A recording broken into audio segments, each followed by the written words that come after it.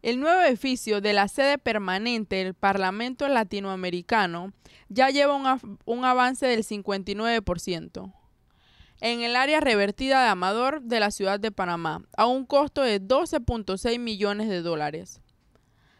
La obra, que convertirá a Panamá en la capital del debate hemisférico, se ha desarrollado gracias a donaciones de los gobiernos de Panamá,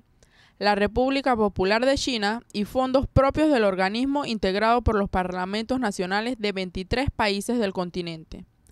La nueva sede estará a orillas del Océano Pacífico, contará con un amplio auditorio con capacidad para 400 conferencistas, el cual podrá ser utilizado para futuras cumbres de jefe de Estado y de gobierno que se realicen en el país. estima que el edificio esté terminado en el primer trimestre del 2013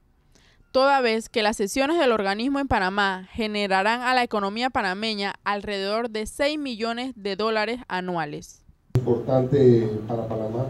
debido a su conectividad y, posición geográfica privilegiada. Un lugar que va a ser muy accesible a que todos los distintos parlamentarios de los 23 países que conforman el Latino puedan converger aquí en Panamá de forma rápida, forma directa en muchos casos, y visitar esta bella ciudad, este bello país y tener sus instalaciones aquí que están eh, verdaderamente impresionantes y que van a servir no solamente para el Parlatino, sino para muchas actividades que haga la República de Panamá o